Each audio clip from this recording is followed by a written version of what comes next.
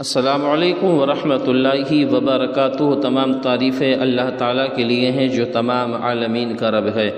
ناظرین، حضرات، میں ہوں نسیم اختر مراد آبادی آپ کی خدمت میں اس موضوع کے ساتھ۔ بہت سارے لوگ کمنٹ کرتے ہیں، واٹس اپ کے ذریعے پوچھتے ہیں کہ ہمارے ذہن میں گندے خیالات بہت زیادہ آتے ہیں، تو آپ کوئی دعا یا کوئی ایسا وظیفہ بتا دیجیے کہ جس سے کہ ذہن میں گندے خیالات نہیں آئیں تو لیجیے میں آپ کو ایک طریقہ بتا رہا ہوں۔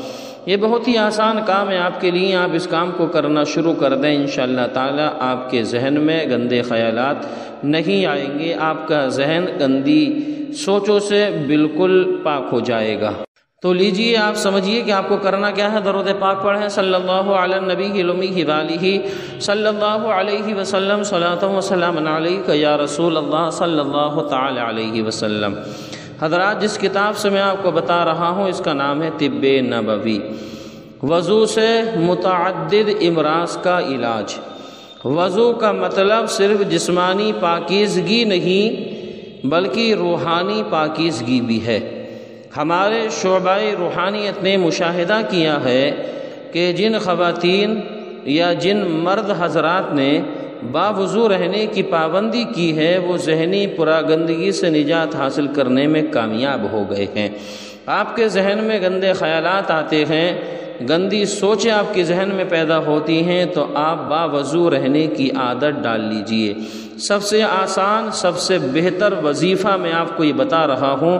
آپ اس کو وظیفہ سمجھیے دعا سمجھیے بہرحال، آپ باوضو رہنے کی عادت ڈال لیجیے۔ جب بھی آپ کا وضو ٹوٹ جائے، دوبارہ وضو کر لیں۔ تو آپ کے لیے یہ اتنا فائدہ مند ثابت ہوگا کہ آپ جو ذہنی گندے خیالات سے پریشان تھے، وہ آپ کے ذہن میں اب نہیں آئیں گے۔ آپ کے ذہن میں گندے خیالات بالکل نہیں آئیں گے، آپ باوضو رہنے کی عادت ڈال لیجیے۔ چلتے چلتے ایک بات اور سنتے جائیے، ہو سکتا ہے کہ زندگی کے کسی موڑ پر کام آئے۔ اپنے ہاتھوں سے غلطی کرنے کی وجہ سے نفس آپ کا کمزور ہے، منی آپ کی پتلی ہے، نسوں میں ڈھیلا پن تناؤ کم۔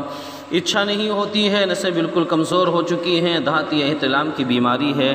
یا آپ اپنا وزن بڑھانا یا گھٹانا چاہتے ہیں یا عورتوں کو سفید پانی کی دھات کی بیماری ہے، تو آپ مجھ سے سمپرک کر سکتے ہیں۔